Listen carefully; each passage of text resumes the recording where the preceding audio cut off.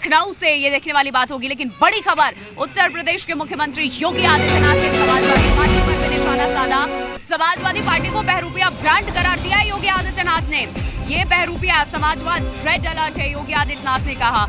UP में पहले माफियाओं का राज हुआ करता था, यूपी में पिछले पाँच सालों में कोई दंगा नहीं हुआ। ये उत्तर प्रदेश के मुख्यमंत्री योगी आदित्यनाथ का समाजवादी पार्टी पर और उस वक्त उत्तर प्रदेश में जब समाजवादी की सरकार थी, उस पर बड़ा हमला सुनवाते हैं। क्या कुछ कहा योगी आदित्यनाथ ने? लोगों के मन में धारणा थी, उत्तर प्रदेश में कोई सुरक्षित नहीं रहेगा। उत्तर प्रदेश में दंगे होते हैं, आस्था का सम्मान नहीं होता है, विकास की कोई रुचि नहीं है। और कई जनपद तो हमारे ऐसे थे जहाँ के नौजवानों को देश के अंदर और दुनिया के अंदर लोग देख करके होटल में भी रूम नहीं देते थे। कई जनपद ऐसे थे जहाँ पर माफिया इतनी तेज़ी के साथ हावी थे कि वहाँ पर लोगों को, व्यापारियों को पलायन करने के लिए मजबूर होना पड़ा था।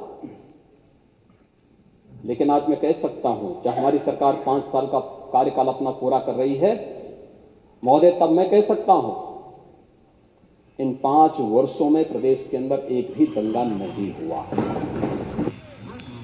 और यूपी से राम राम में इस वक्त की बड़ी खबर आपको बता दें, बड़ी खबर दरअसल अखिलेश यादव और शिवपाल यादव की मुलाकात से जुड़ी हुई है। अपने चाचा से मिलने के लिए अचानक से अखिलेश यादव, शिवपाल के घर पहुँचे और इसके बाद शिवपाल सिंह यादव मिलने के लिए आए। मुलायम सिंह यादव से बड़ी खबर इस वक्त आपके सामने, जी हिंदुस्तान पर।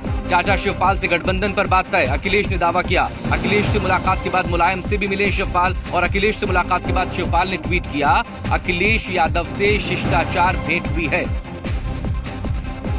चुनावों से पहले जो दूरियाँ थी, वो एक बार फिर से नजदीकियों में बदलती हुई। तुषार हमारे साथ इस वक्त जुड़े हुए। तुषार, आखिर ज़रूरी है या मजबूरी है? यूँ चाचा के घर पहुँचना अखिलेश का।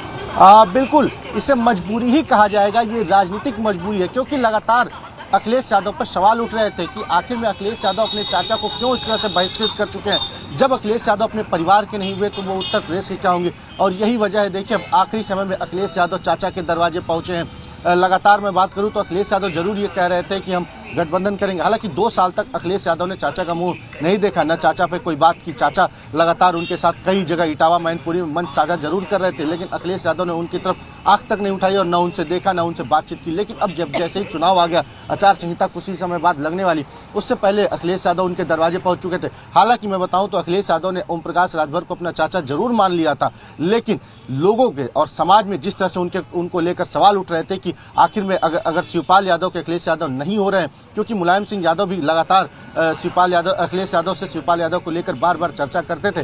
तो इसी बात को लेकर अखिलेश यादव की ये राजनीतिक मजबूरी होगी ये सामाजिक मजबूरी है। बिल्कुल यही चीज़ देखने को मिल रही है। अखिलेश यादव जब एक तरफ़ कह रहे हैं कि तमाम छोटे दलों को हम साथ लेकर के चलने के लिए तैयार है तो वही प्रगतिशील समाज पार्टी तो लगातार इस ओर टकटकी लगाए बैठी थी कि कब यहाँ अखिलेश यादव का बुलावा आ जाएगा। शिपाल तो तैयार थे अखिलेश की साइकिल पर सवाल होने के लिए।